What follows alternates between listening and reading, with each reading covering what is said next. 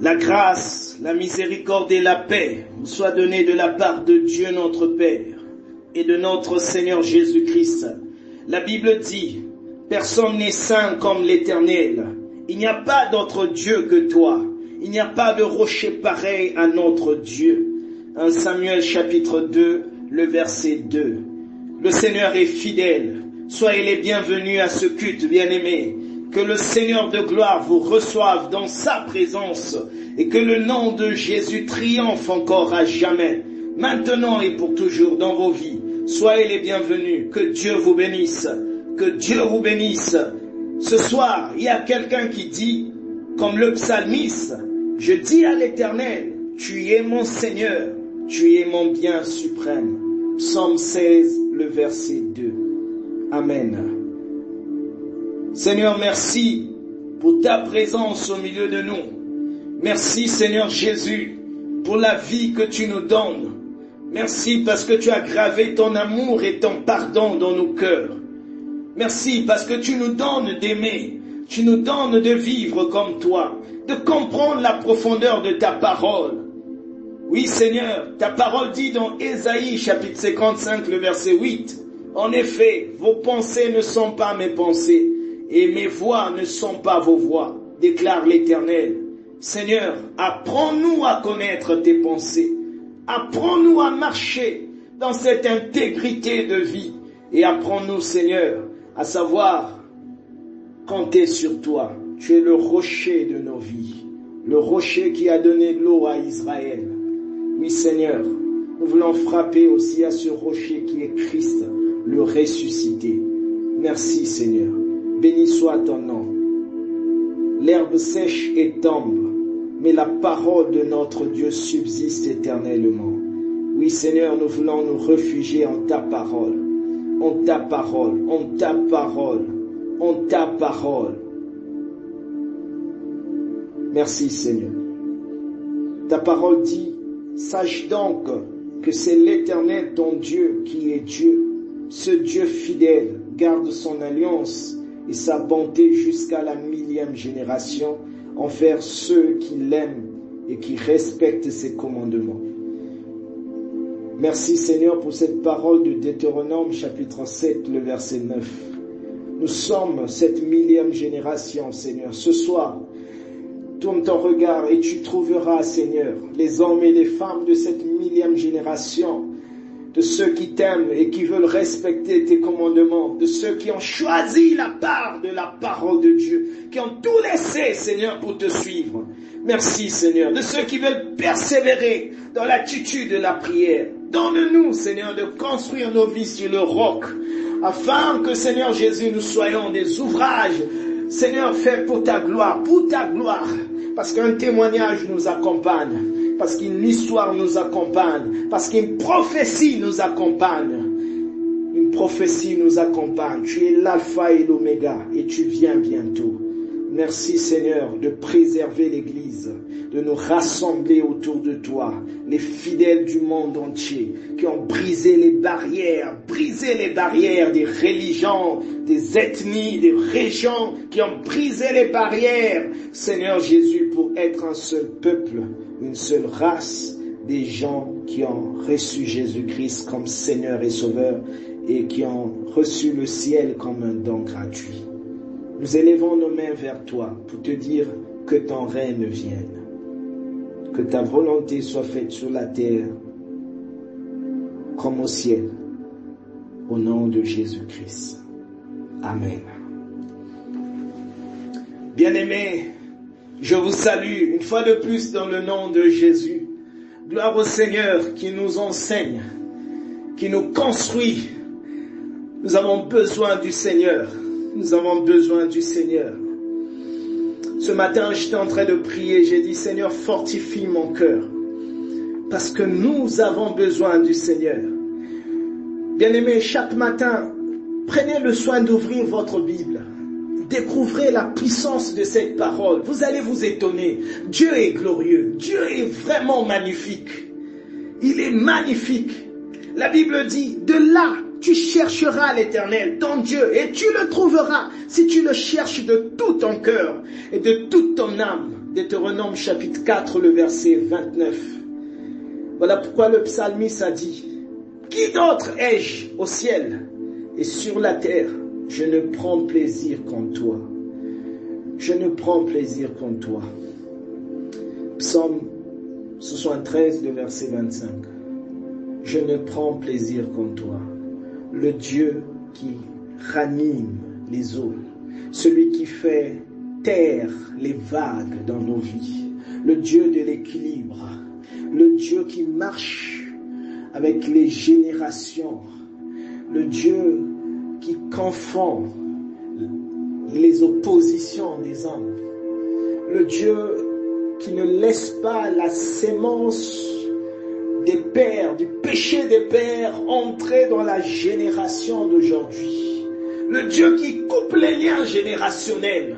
Le Dieu qui renouvelle et qui transforme les vies. Le Dieu qui a parlé à la montagne, qui a nourri les foules à la montagne. Crucifié le premier jour.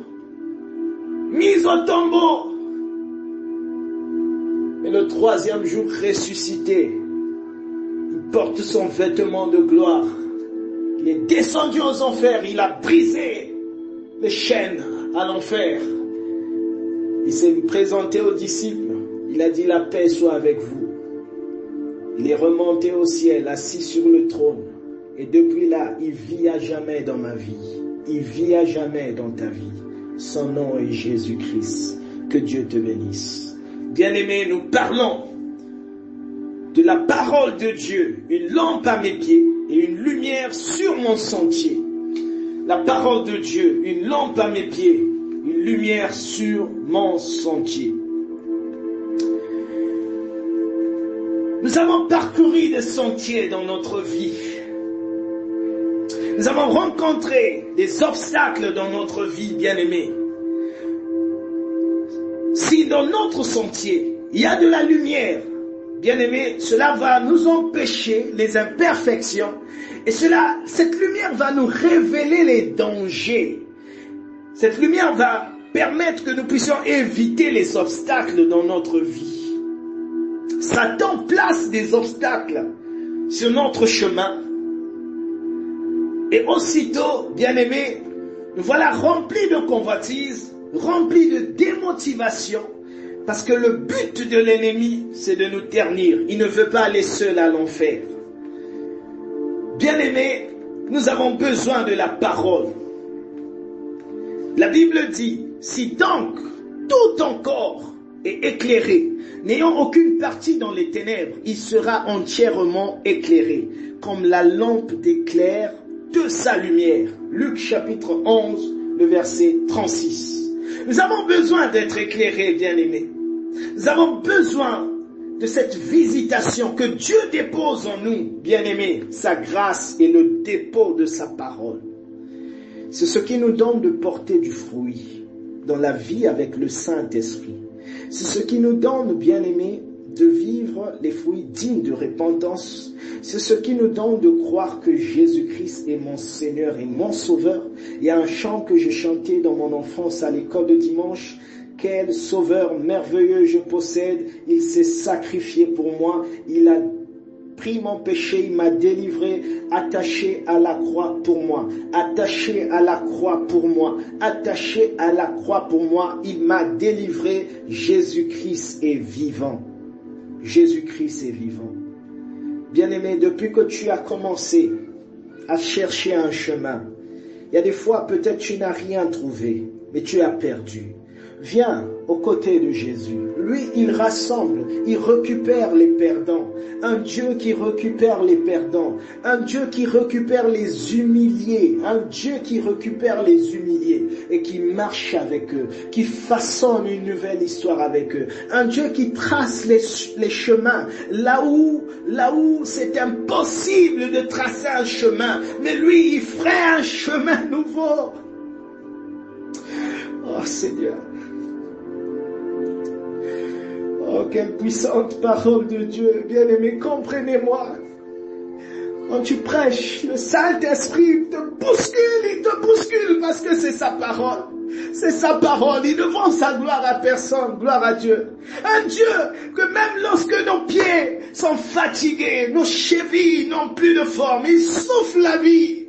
Voilà pourquoi Pierre a dit à cet infirme, lève-toi, je n'ai rien à te donner, mais tout ce que j'ai, je te le donne au nom du Seigneur. Lève-toi et marche la parole qui restaure les chevilles, la parole qui refait monter. Dieu n'a pas besoin d'échafaudage pour faire monter un mur. Il n'a pas besoin de ça. Il n'a pas besoin de plan, bien aimé, parce qu'il est l'architecte lui-même. Il a le plan de la vie de tout un chacun. Il trace un chemin nouveau pour tout un chacun, parce qu'il est tout puissant, parce qu'il est vivant, parce qu'il est Seigneur, parce qu'il est le roi de gloire. La Bible dit, et pourtant je vous écris un commandement nouveau, qui est vraiment nouveau en Jésus et doit l'être en vous. En effet, la nuit s'en va et la vraie lumière brille déjà. Si quelqu'un dit, je suis dans la lumière, mais s'il déteste encore son frère ou sa sœur, celui-là est encore dans la nuit. Celui qui aime son frère ou sa sœur reste dans la lumière. Il ne risque pas de tomber dans le péché. 1 Jean chapitre 2, le verset 8 à 10. Pourquoi la Bible dit parce que, bien-aimé, tu n'as plus besoin de prier contre ton ennemi, parce que toi, tu as tout reçu de Dieu. Tu n'as plus besoin de justifier ton mal, parce que Dieu guérit cette blessure. Tu n'as plus besoin d'être dans le faux, parce que Dieu ouvre une porte nouvelle au travers de sa parole.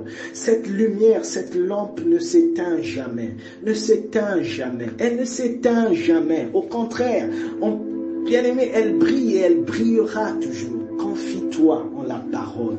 La parole de Dieu. La parole de Dieu. La parole de Dieu, c'est le buisson ardent de l'Église. La parole de Dieu, c'est de là que Dieu parle, bien-aimé. La parole de Dieu. Nos paroles sont ces paroles qui n'ont aucune valeur. L'Église parle beaucoup aujourd'hui, mais une Église enflammée pour Dieu, c'est se taire et laisser le buisson ardent parler, le feu dévorant parler. Ce feu-là tire plusieurs et ce feu est comme une épée qui repousse aussi plusieurs. Elle coupe âme et esprit, bien-aimé. Ce feu-là, repousse ceux qui sont les ennemis de la parole. La parole de Dieu active la gloire, la parole de Dieu. L'Église existe, bien aimé, parce qu'elle est en mission. Et le feu existe pour brûler.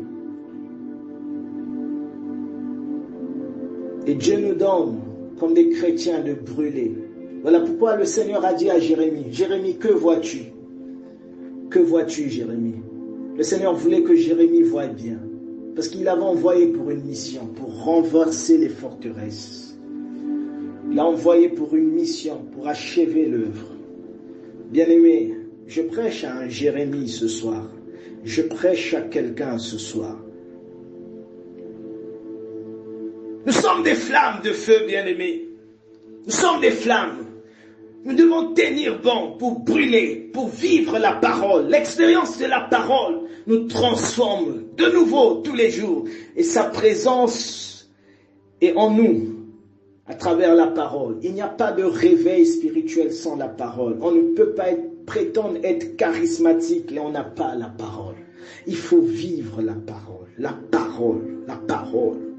C'est la parole qui a fait tomber le feu au mont Carmel. La parole, la parole, elle était là, à l'autel, bien-aimé, la parole. La parole. Les païens, pendant que les païens se préparaient pour arranger l'autel pour le sacrifice, mais Satan n'avait pas réussi à allumer le feu. Il n'avait même pas réussi à allumer le feu, parce que ce feu l'attend dans l'enfer pour le brûler. Et Élie a rétabli un autel. Il n'y avait pas de sacrifice. Il a appelé le feu venu du ciel. Ce feu, c'était le Christ qui plus loin s'est fait sacrifice pour nous afin que nous soyons sauvés. La parole de Dieu. La parole de Dieu. Bien-aimé, est-ce que tu as déjà porté un logo sur ton habit? Un logo chez toi au boulot? Le logo pour nous, les enfants de Dieu, pour les chrétiens, c'est la parole. La parole de Dieu. La parole de Dieu. Nous avons besoin de cette parole. Et nous devons apporter ce feu partout. La parole de Dieu, bien-aimé. La Bible dit encore. La Bible dit. La Bible dit, bien-aimé, en effet, vous êtes nés de nouveau, non pas d'une sémence corruptible, mais d'une sémence incorruptible, grâce à la parole vivante et permanente de Dieu. 1 Pierre chapitre 1, le verset 23. Nous sommes nés de nouveau grâce à la sémence de la parole de Dieu, une sémence incorruptible, une parole vivante, permanente de Dieu. La Bible dit encore, la loi de l'Éternel est parfaite, elle donne du réconfort. Le témoignage de l'Éternel est vrai.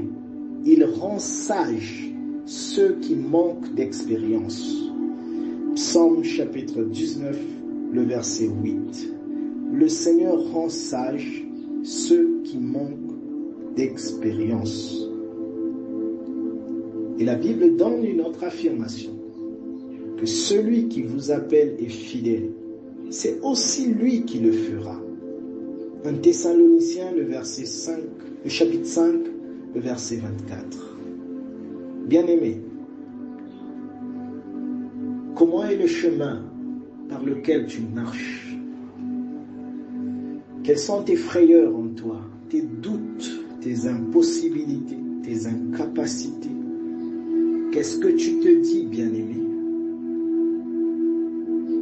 Est-ce que tu entends la voix de l'Esprit ce soir?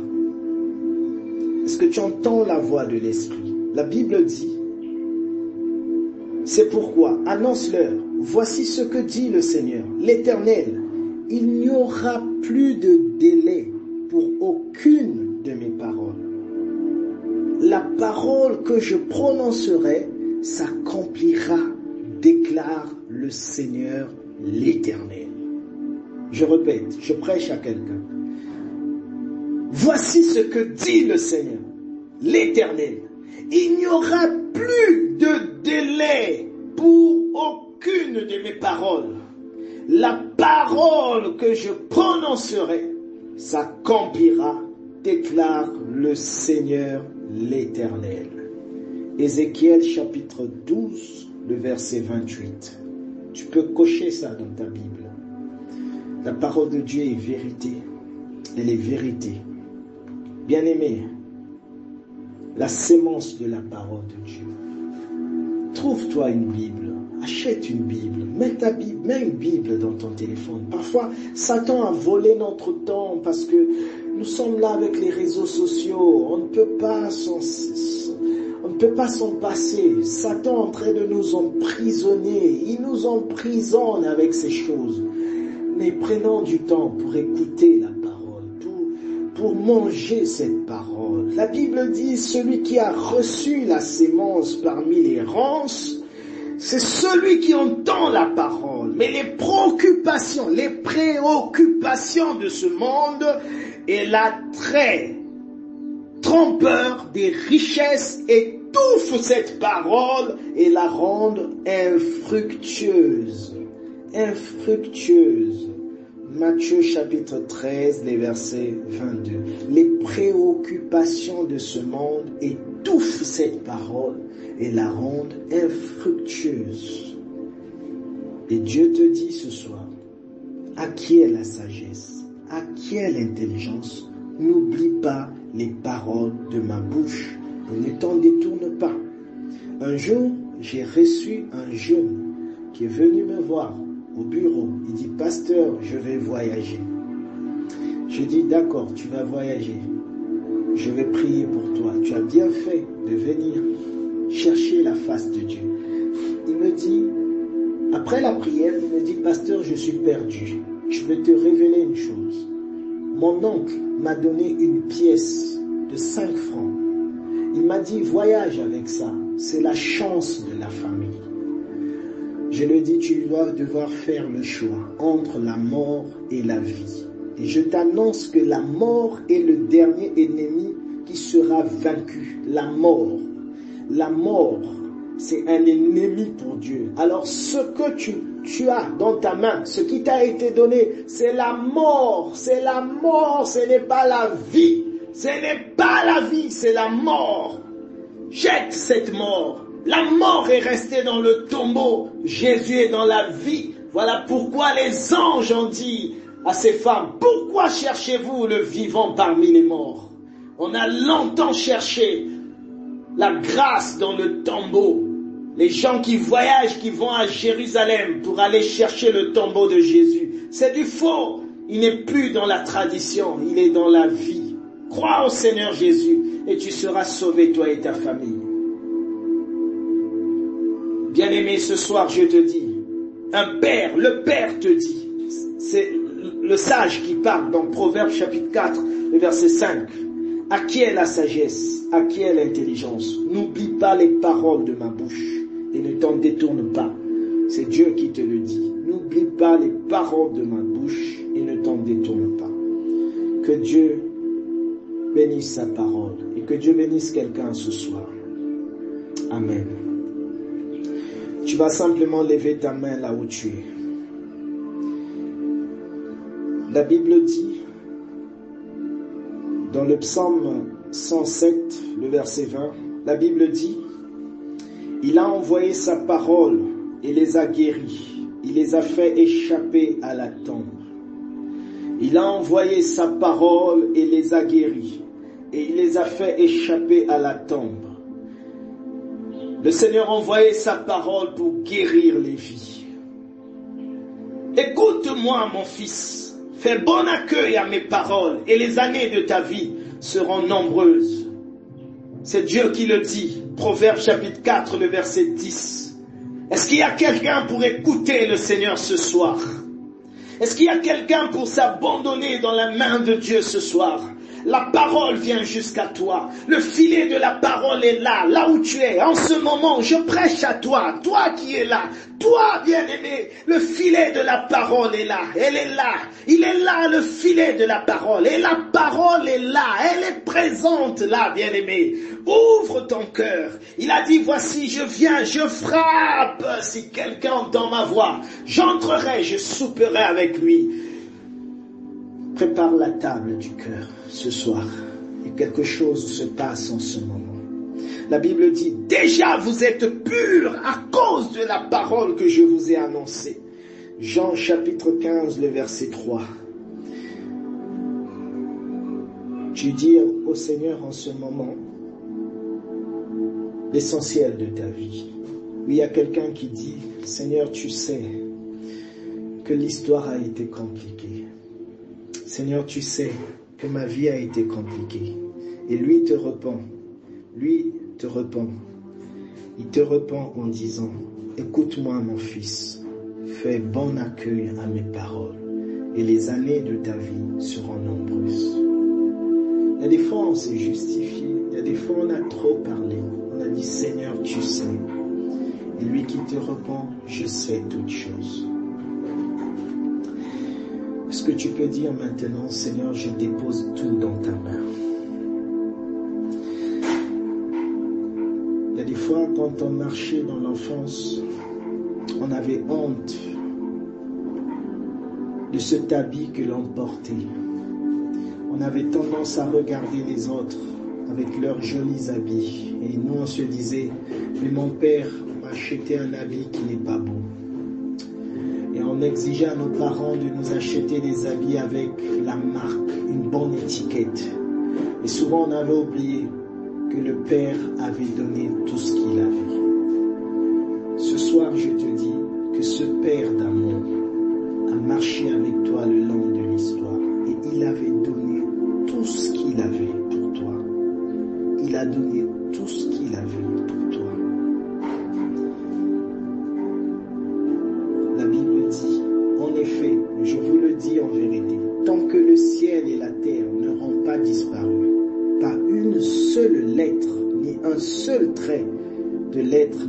de la loi avant que tout ne soit arrivé. rien ne disparaîtra, bien-aimé, afin que ton salut ne soit, le salut que Dieu a prévu pour toi ne soit manifeste. Lève ta main et dis, Seigneur, j'ai compris. Est-ce que tu peux le dire ce soir, Seigneur, j'ai compris, j'ai compris, Seigneur, j'ai compris, j'ai compris, Seigneur.